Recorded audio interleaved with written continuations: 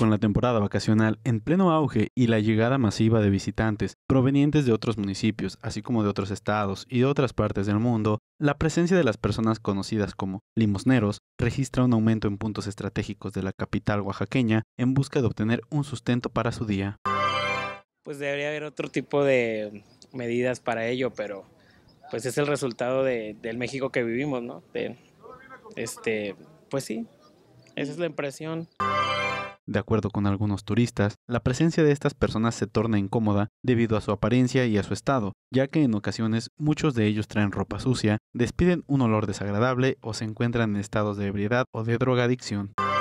Pues generar más, más empleos, este...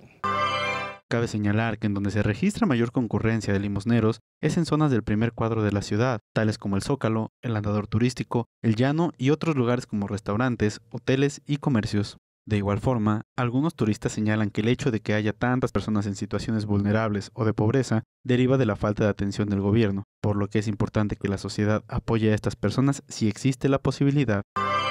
Pues darle más atención, brindarle apoyo o crear más fuente de empleo porque hay muchos que pueden trabajar y a veces cuando no hay, entonces buscan la manera de cómo sobrevivir o buscar el sustento diario, ¿no? Esa es la verdad.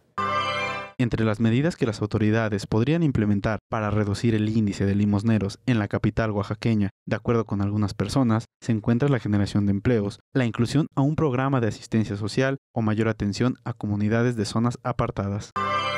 Bueno, pues en la realidad en este tiempo, ¿no? Hay algunos que son verdaderamente que sí lo necesitan, que, pero otros nomás fingen, pues es que hay de todo en este tiempo, ¿no? Y, pero sí creemos de que hay personas que sí lo necesitan y y no pasa nada, si uno tiene hay que darle unos, unas monedas, ¿no? No cuesta nada, así como dicen por ahí, de que es mejor que pida a que estén robando, ¿no?